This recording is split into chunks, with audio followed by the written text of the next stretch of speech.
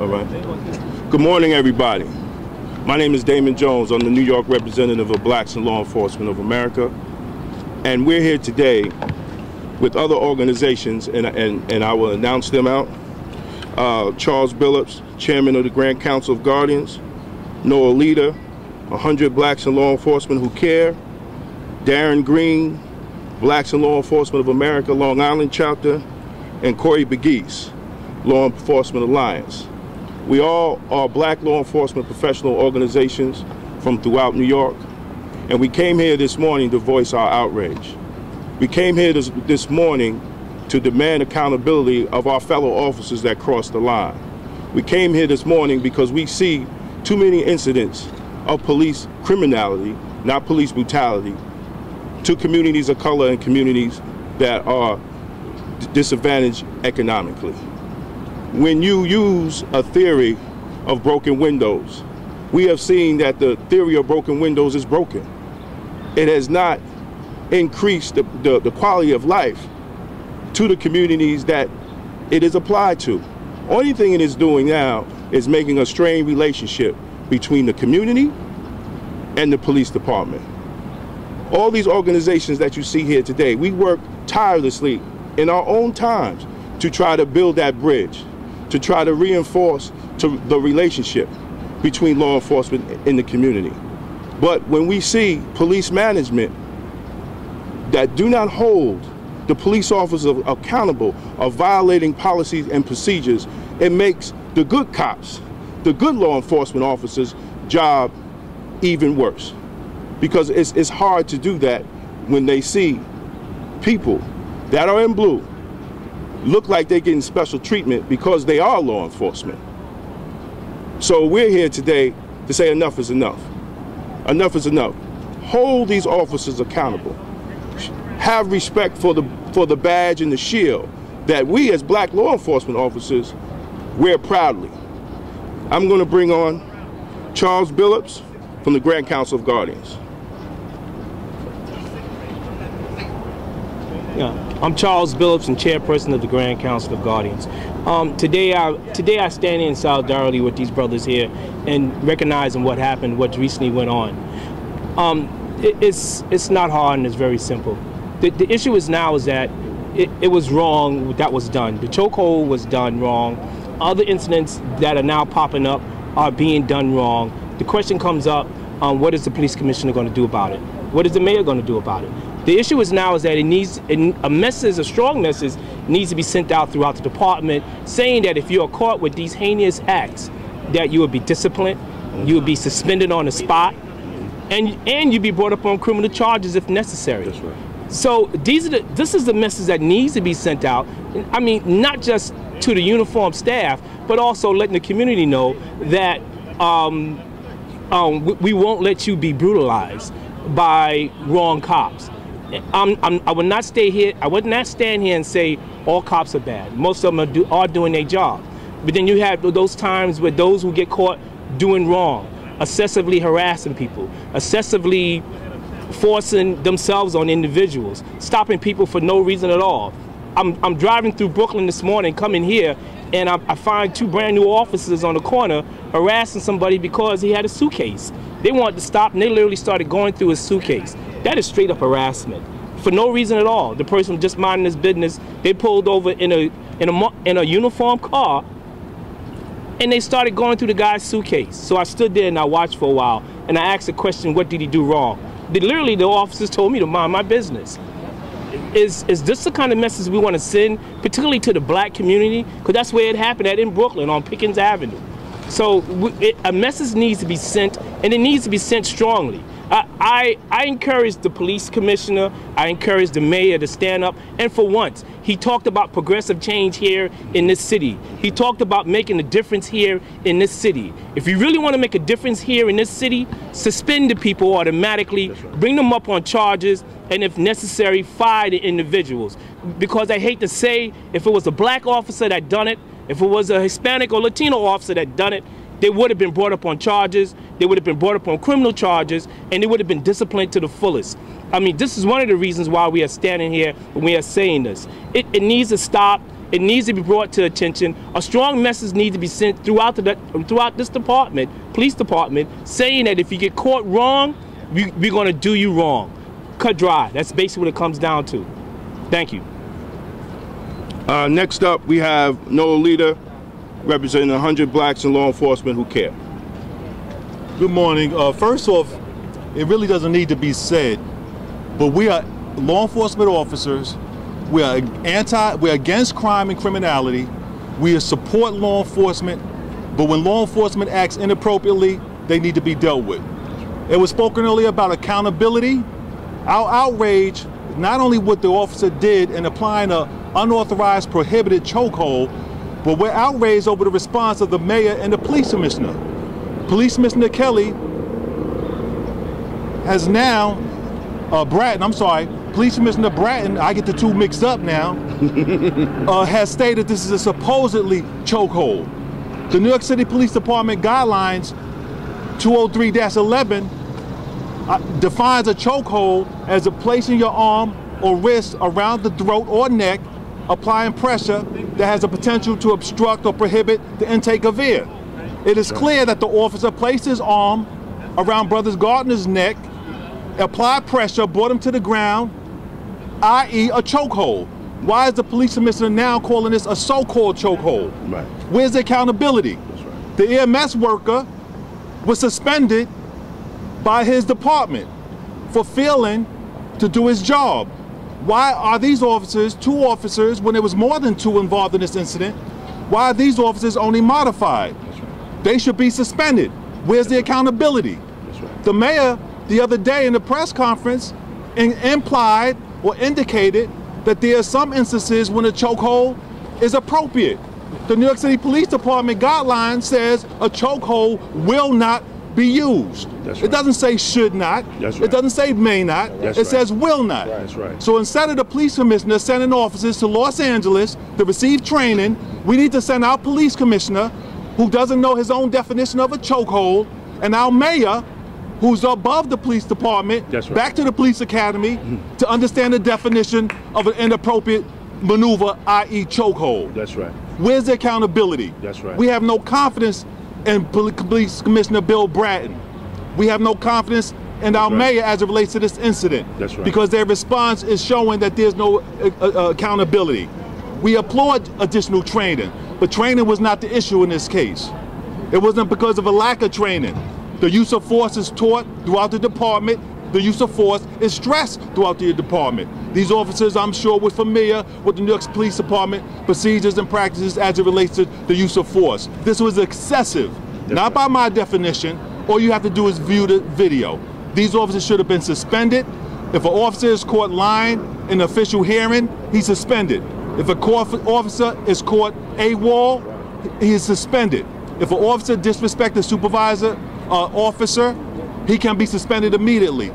Why, when applying a, a prohibited chokehold, which results in the death of an individual, why aren't these officers suspended immediately? That's right. Police Commissioner Bratton didn't get it 20 years ago, and he doesn't get it today. Thank you. That's right. Uh, next up to speak is Darrin Green, representing Blacks in Law Enforcement of America, Long Island chapter. Good morning. Again, my name is Darrin Green, President of Blacks in Law Enforcement of America, the Long Island chapter. And as my fellow brothers have all stated, being black law enforcement, it hurts us, it saddens us to know that we have to continuously stand on the battlefield and fight these issues, and especially from when they come from within our own respective departments or agencies with our fellow brothers and sisters. What I will say to you is that lack of discipline as it's been said already, is the key answer here. The good old boys club is still good at work. That's right. The good old boys club, which really sends a message to the rank and file, is that I can do whatever I want to do. If I have power of the pen, I will be able to justify whatever I want to do because there will be no discipline because my boss may be part of the good old boys club which will not put me in the hot seat, which will not allow me to be disciplined.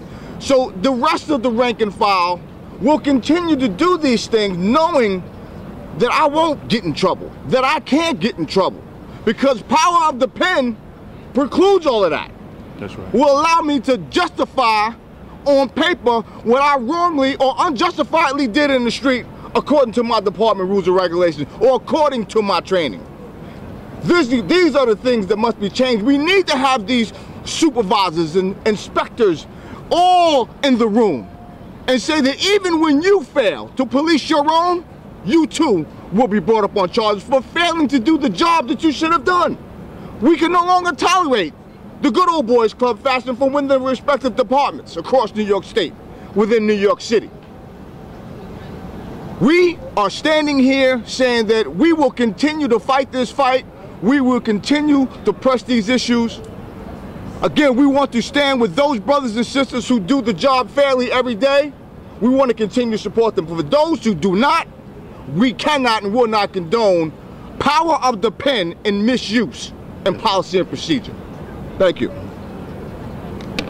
Uh, next up is Corey Pegues. He's representing Law Enforcement Alliance. Good morning. Again, Corey Pegues, co-founder of Law Enforcement Alliance, recently retired Deputy Inspector, New York City Police Department, commanding officer of the 67 Precinct, last assignment. So I want to, I want to say three things. loosie cigarette, marijuana cigarette, barbecuing in front of your yard. These are the three of the most recent incidents that has happened around New York City. All violations, petty crimes that should not have happened, especially with the climate of us reading the newspaper and people are getting shot. People are getting robbed.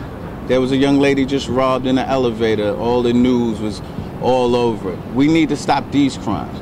So, with these petty crimes, quality of life issues, the New York City Police Department has made New York City one of the safest cities in the world because of those type of crimes. But it's been 20 years. We beat the horse. We beat the horse down. When I was a cop, you walk down the street, people was urinating. They're not urinating no more. People was drinking open containers of beers. They're not doing that no more. People were congregating on corners, five or more, and they're not doing that no more. So at what point do we stop enforcing these petty crimes because it helped us, but now it's alienating the same communities that it has helped. It must stop. The broken windows theory is actually broken now. It's broken now. And we got to do something else because we got to bridge that gap between community and police.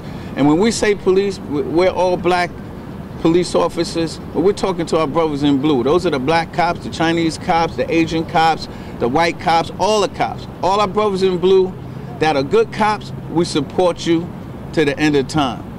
But the bad cops, we have no room. There's no room for bad cops. Cops got to come to work every single day and give 100%. Because guess what? When you give 99%, your mistake could cause a death. We got to shoot 100 every single day when we go out there. And we're here to announce today we don't support the lack of discipline that has happened. You got a cop in Bedford Stuyvesant that stomped on the head of a handcuffed individual, and the cop was not suspended. I don't know how much more evidence you need. Hmm. You put a cop on desk duty that clearly stomped on somebody's head. What other evidence do we need? He should have been suspended because people don't understand until you take money out their pocket. That's right. When you take money out of people's pocket, they trying to figure out how they're gonna pay their mortgage. That's when they understand. Because when you make him understand, everyone else says, "Ho, this is not a game." So we're expecting for the leadership of this department to come down forcefully on all the bad cops. And again, we want to make clear we're not sweeping with a paintbrush that the New York City Police Department or the cops are bad, but we've been seeing some stuff that's really, really disturbing in the news lately, and it's for petty crimes. The chokehold in Staten Island. The man didn't have to die he died. So guess what? Somebody's culpable for it. And NYPD, there got to be some checks and balances. Every everything can't be right. We make mistakes. Doctors make mistakes. Lawyers make mistakes. But guess what? In Staten Island, right. last week and a half, some cops made a mistake. They made a big mistake, and somebody must pay for it. Thank you. And I just want to make something clear when, when we speak on police criminality, what is police criminality? Police criminality is an officer that is trained by a certified institution of law enforcement and goes in the community and violates his training and policy and procedure of that Right. Pacific, Pacific department. Mm-hmm. He is no less a criminal in the community himself mm-hmm. because he's violating the policies and procedure and his training. And that's what we call police criminality. Every law enforcement officer should be against police criminality. Mm-hmm. Every law enforcement, we are not we are not anti-police or anti-cop. Mm-hmm. We are pro-police and pro-community. Yes. Because if a civilian was on video and had pictures of stomping a man in the head, that'd have been enough evidence mm-hmm. to take it to the grand jury. All right. Now, why is that? Why is that same rule not applied to that cop? Why is not that same rule not applied to other law enforcement that cross the line and break the law, and then the department wants to slap them on their hand? We have to send a message. We have to send a message to the bad ones. We have to send a message to the bad ones. So what we're saying here is enough is enough. It, ha- it has to start today. We need what they call uh, behavior modification, because if more police bad ones see other bad cops come out with handcuffs on and get suspended and losing money in their pocket, mm-hmm. it will change their attitudes and their actions mm-hmm. towards the policies and procedures. So this is what we're asking Mayor de Blasio. This is what we're demanding from Commissioner Bratton because Mayor de Blasio ran on oversight and law enforcement. He got elected from communities of color throughout the throughout the boroughs on oversight and law enforcement. And this is his test. Because if not, this might be his la- last term when it comes to black and brown communities throughout New York. Thank you, and if you have any questions. Any questions? Any questions? Yeah. in- yeah, you Yes. can, yes. I'd like, I'd like you all to uh, expound on what if this incident was turned around and it was a Jewish man put him to the, the chokehold and killed him, or a white man put him to the chokehold and killed him, and a black officer did. it. I'd like y'all to respond on that.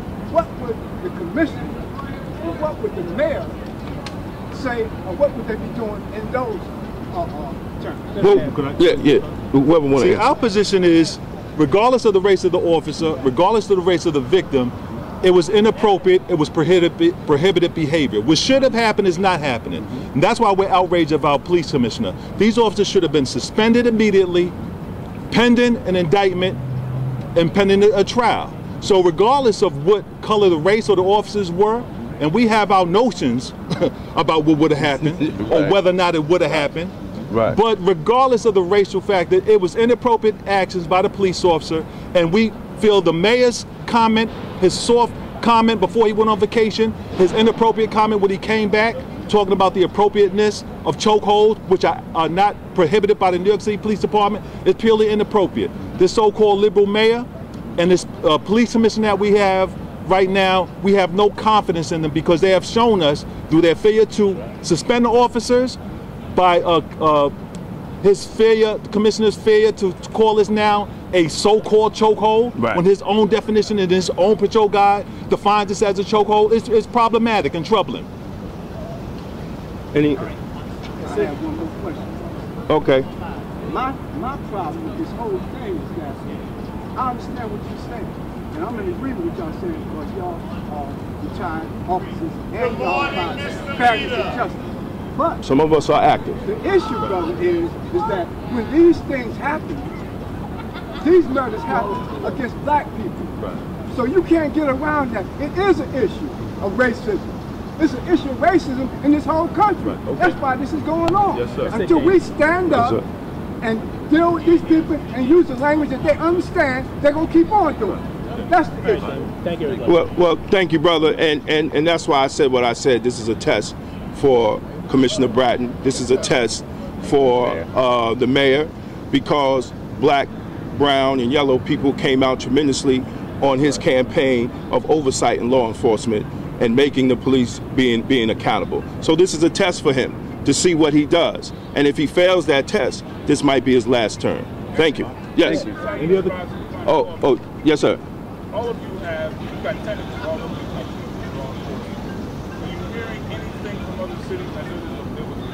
a lawsuit in D.C. Uh, transit, transit officers put a chokehold on somebody.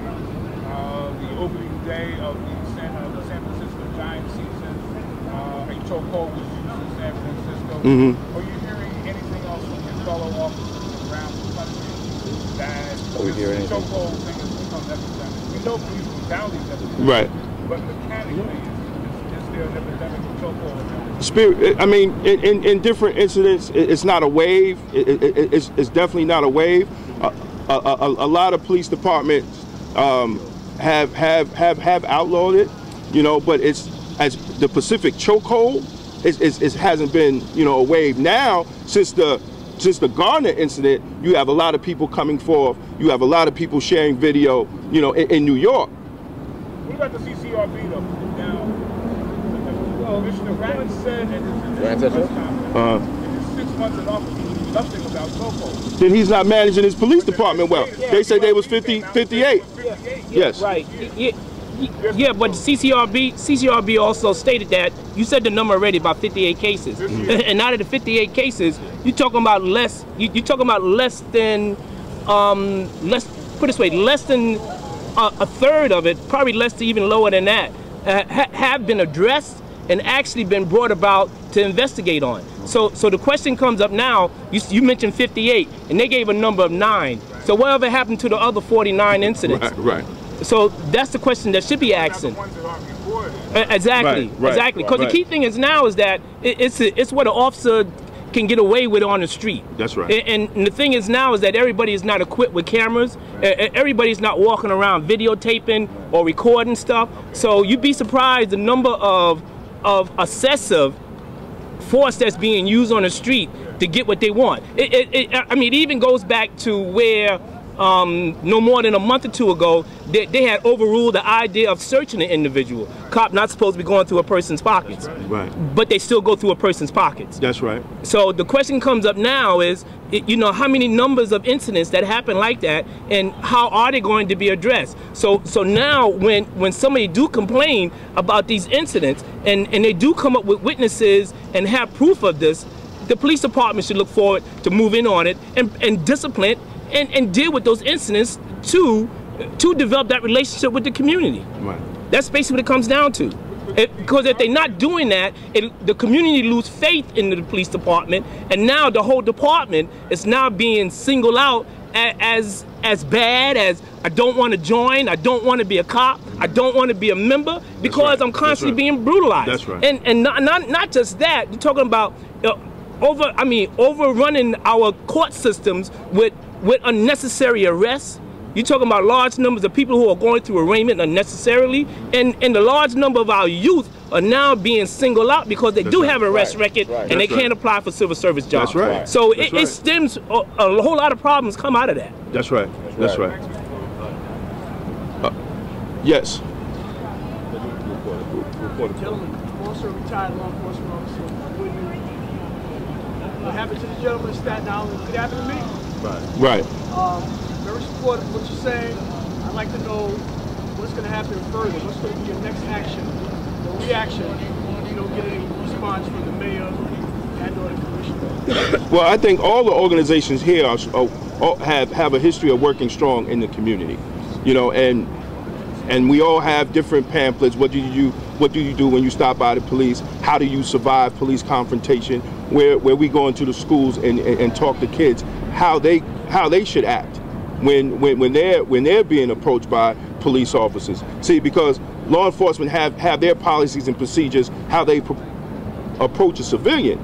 But now the civilian should have a set of guidelines how to survive but- that confrontation. But and, and on top of that, and on top of that, let me, let me give you a good example of what we are doing. Right. Um, just recently, we, we had members of mine, I'm talking about four parole officers, who was upstate New York, who Right. was harassed the same way That's right. by the Ramapo police. Same concept, same harassment In uniform. but On and, duty and, and they was in and they was on duty at the time, but they was in civilian clothes. So what we are doing now, we are taking them to court. We are suing them. So Right. so so my advice to anyone in the community, if they feel they've been brutalized, if they feel they've been just misused wrongly in the police department.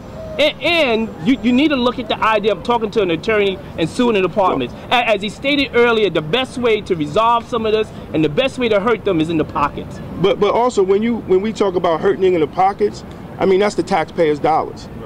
You know, so so this incident that Garner was killed over, what, a couple of loosie cigarettes, now it's going to cost the city taxpayers millions of dollars. Hmm. See, it's it's it's still a, it's back to the taxpayers and the voters to say enough is enough because it's not coming out of uh, Bratton's pocket. It's not coming out of City Hall. It's coming out of the budget of the city, which the taxpayers pay. Yes. Um, what, do you see a correlation between how this, the messages on this case, the correlation between this one and 20 years ago with the Anthony Baez case? Yes. Yes. Yes. Yes, we do. And that's one of the reasons why we're calling for a special prosecutor.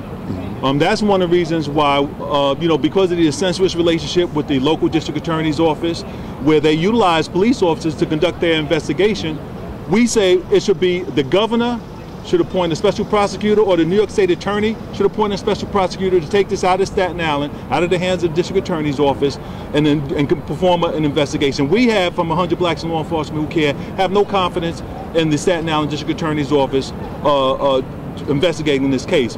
And uh, to your, your question, brother, also is that we thought we had a new police commissioner. That's right. We thought we had a new mayor. That's right. We thought things are going to be different. That's but all right. we're getting is That's more right. of the same. That's right. And as I stated, the lack, the, the, the soft response by both the mayor and the police commissioner is problematic. The refusal to suspend this, the, the officers involved in this case, is problematic. His statements now, calling this a supposedly chokehold, is problematic because he's speaking to, if it stays in Staten Island, potential jurists. The mayor, potential jurists are here. Listen to what the mayor is saying when he says that there's sometimes a chokehold may be, uh, uh, you know, appropriate. When the police commissioner says it was a supposed chokehold, potential jurors are listening to the mayor and the police commissioner speaking. We know what they're saying is incorrect. We thought we were getting something different, but all we have is more of the same, and we're outraged. I, I have a question to ask y'all. My question is, why haven't anyone speak to the city council and to the recently appointed? Um, um, no, no, no, the recently appointed. Um, um, in- Oh, um, the Inspector General. Right, right, the inspector general that's supposed to be looking over all this public safety act stuff. So the question comes back now: What is city council going to do about it? Because they voted and they got it in there. The mayor appointed this individual. Keep this in mind too. Also, so the Right. question comes back to now is what is they're going to do about it on this incident? Do- I mean, is something's going to be said? Is something's going to be done? This person was disappointed. You know, where is he? He hasn't spoken up. We haven't heard from him. We haven't heard from city council, and we haven't heard from the mayor's office the correct way either. And I would just add to that. At this point, we are looking at public trust. If the city can no longer trust the police officers that have been hired to do the job, I have made this statement repetitively and over and over again. Okay? At some point in time, you're going to have a mass groups of people that are going to start trying to pick off cops. Why? Because we no longer believe in you and trust in you. So we ride around with that term protect and serve, and we're not advocating for that. But let's speak truth. Let's talk reality. If we are not going to go out and really work hard and bridging that gap between police and community, we are going to have a larger problem than we are having now. Because right. public trust is really important. And we would have hoped that the mayor and the police commissioner could do something immediately, okay? And even if it in- requires of sitting down with the respective black law enforcement officers that are here, okay, we would be more than happy to go on board and come up with some things to help them bridge that gap between police and community. Wasn't there a meeting already? Not with us. We wasn't invited. We wasn't invited. I would everybody. Yeah. Invited the nice people. There, there was a meeting with Al Sharpton, a special meeting with civil rights leaders, but uh, one, uh, once again, black law enforcement organizations was not